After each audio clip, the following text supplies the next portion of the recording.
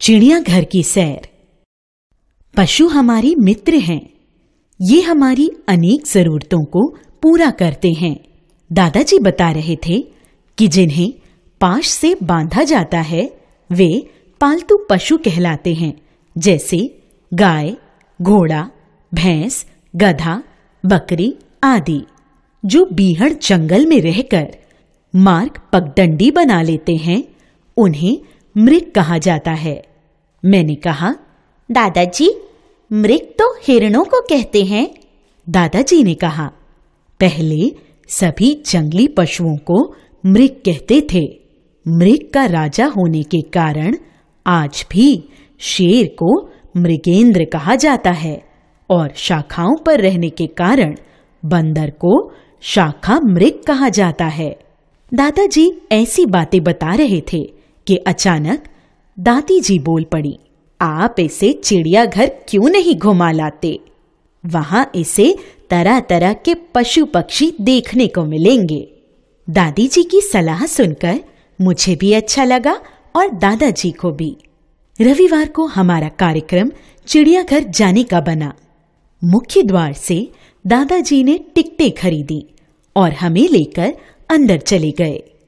वहाँ हमें सबसे पहले अनेक प्रकार के पक्षी दिखाई दिए, जिनमें विविध रंगों की चिड़िया भी थीं। वहाँ से जब हम आगे बढ़े तो एक भालू दिखाई दिया।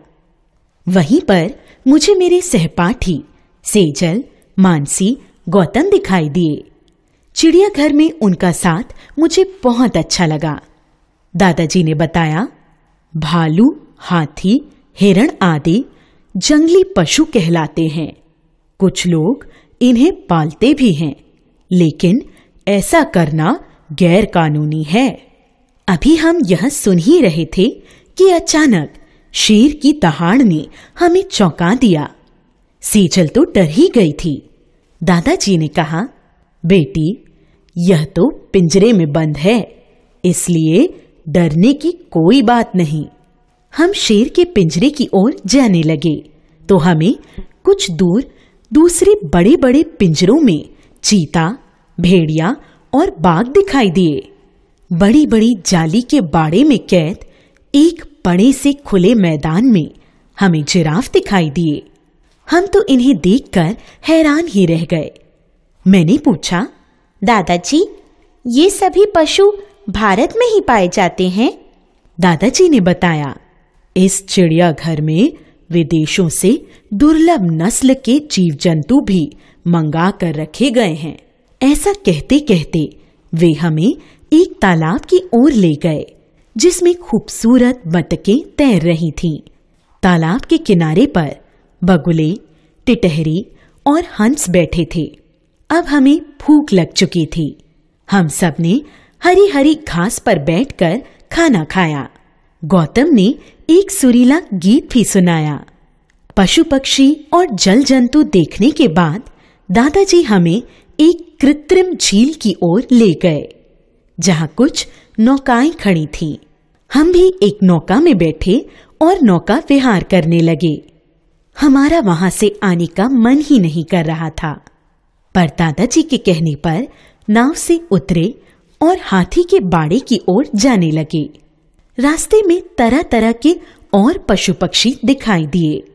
हाथियों को देखना मुझे जीवन भर याद रहेगा, क्योंकि हाथियों से डरी हुई मानसी का कांपना मैं भूल नहीं पाता। हाथी देखने के बाद दादाजी ने कहा, ये पशु पक्षी हमारे बहुत काम आते हैं। घोड़ा, गधा, खच्चर और ऊँट सवारी करने तथा बोझा ढोने के काम आते हैं। तो गाय, भैंस, बकरी आदि दूध घी से हमारा पोषण करती हैं। भेड़ हमें ऊन देती है।